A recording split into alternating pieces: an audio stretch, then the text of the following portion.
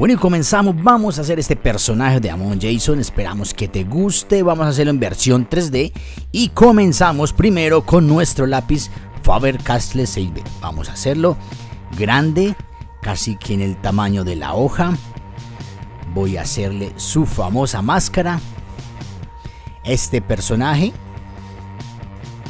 para Halloween y hacemos la parte trasera. Bueno, aquí en la parte de la máscara superior trae como una correa y hacemos los orificios.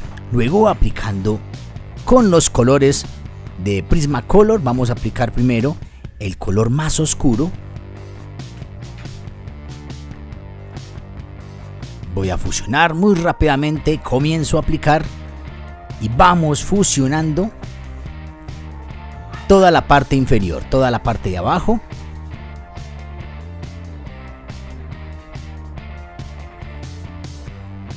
Espero que te suscribas a nuestro canal para poder que no te pierdas y estés al tanto de nuevos videos. Vamos a terminar por aquí este sector de la pierna derecha. Bueno, si se le puede llamar pierna, no sé ustedes cómo lo llamen, pero vamos terminando. Recuerden que hay muchas opciones de aplicar color. Yo normalmente me gusta hacerlo eh, de forma, eh, vamos haciendo un trazo muy grueso y muy, muy, eh, muy fuerte para que esta forma quede lo más oscuro posible. En esta parte de acá le voy a aplicar un tono más claro. Entonces la presión de nuestro color lo vamos a hacer más suave. Luego acostumbro con el color blanco fusionar y darle eh, un poco de difuminado a estos dos colores. Ahora nos encargamos de la, máscara. Las pequeñas sombras que también la vamos fusionando.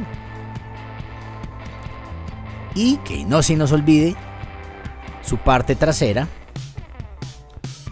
No sé, ustedes me podrán decir qué es esto, si es una maleta, un bolso, no sé a qué se parece, pero, o si de pronto por ser eh, eh, algo de espaciales, ustedes me podrán enseñar un poco de qué es esta parte trasera.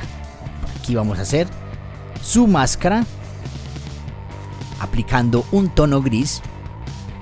Suelo darle más presión en los lados para que quede lo más grueso posible y lo más oscuro. Y luego la sombra, perdón, la luz va eh, en la parte central.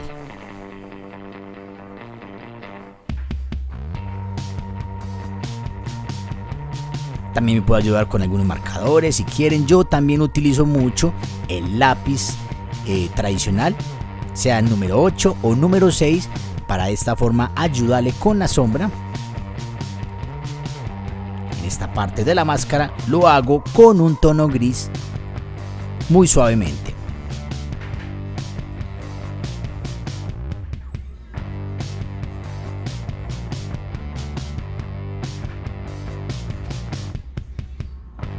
Bueno, si quieren más tutoriales como este, si quieren más personajes, pues pídelo aquí en los comentarios, estaremos muy atentos a ver si gusta, a ver si les gusta este personaje, si les gusta esta técnica en 3D.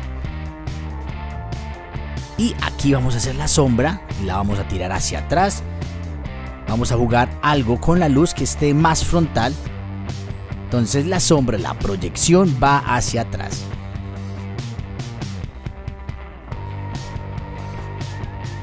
Hacemos lo mismo, lo podemos hacer en lápiz.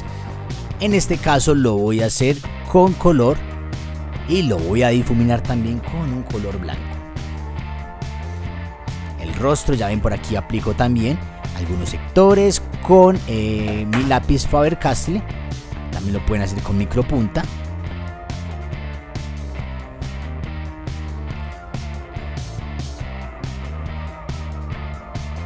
Ya van viendo que a medida que voy aplicando colores le vamos dando un poquito más de ganancia, un poquito más de 3D. Esto es, entre más curia, por decirlo así, mejor va a quedar.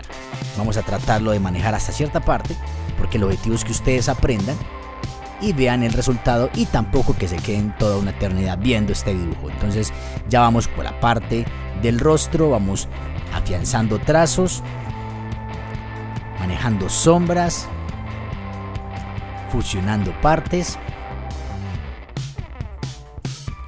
Si quieren ver más personajes, si te ha gustado el, videojuego, si de pronto lo juegas, pues déjalo aquí en los comentarios. Si quieres ver un próximo personaje, pues déjalo aquí, lo trataré de ver para, para traerlos en próximos videos. Ya una de las partes que siempre utilizo es el recorte. Luego de marcar las líneas, vamos a recortar toda esta parte de arriba muy suavemente.